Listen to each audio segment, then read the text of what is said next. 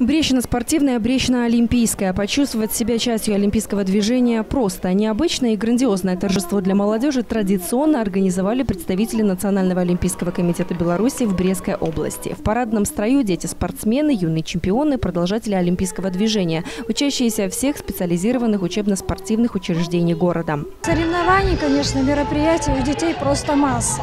Но, конечно, отдельно можно выделить категорию подобных мероприятий, потому что они пропагандируют олимпийское движение.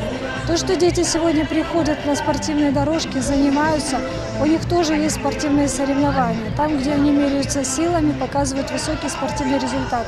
Но вот подобные мероприятия, они отличаются тем, что в них принимают участие и звездные спортсмены. Сегодня можно увидеть вживую наших лучших, самых сильных, нашу гордость э, белорусскую спортивную. Волейболисты и хоккеисты, футболисты и гимнасты, фехтовальщики, каратисты, баскетболисты и фигуристы. Только начинающие и уже опытные мастера. Возможность пройтись по красной олимпийской дорожке была у каждого, кто пришел на праздник. Встретиться с молодежью и пожелать им достижения высот в спорте пришли знаменитые белорусские олимпийцы, именитые чемпионы, ветераны спорта. Юлия Нестеренко, Сергей Сергей Мартынов, Тамара Самохвалова, Виктор Браченя. Если говорить про эти мероприятия, то, конечно же, очень много ребят, даже вот сейчас раз, разговаривал э, с дедушкой одного внука, говорит, вот, говорит, хотел заниматься хоккеем, да, сомневался, а вот сейчас уже уже хочет. То есть посмотрел, как уже это интересно и красиво.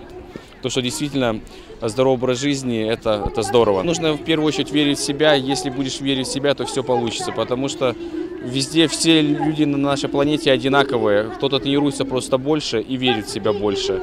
Поэтому, если верить, и, то все обязательно получится. Секрет, что многие ребята а, занимаются спортом, но не на полную.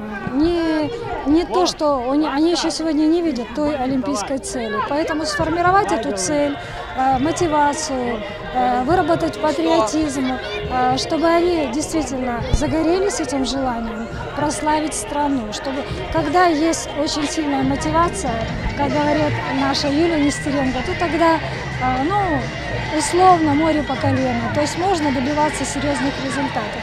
Эпицентром праздника стали спортивные площадки, где ребята смогли посоревноваться в ловкости и физической силе, начиная с традиционных – футбола, баскетбола, гандбола, заканчивая роллерным спортом и айсштоком. Несомненно, это, конечно, не настоящие Олимпийские игры, однако настоящий соревновательный дух чувствовался во всем. А еще это лучшее место для мотивации, так считают потенциальные олимпийцы. Хорошо, когда спортсмены могут увидеть своих кумиров, таких белорусских наших призеров, которые помогают нам мотивироваться помогают нам достигать своих целей, потому что это люди живые, можно с ними пообщаться, сфотографироваться, они могут дать какой-то цельный совет как спортсмен.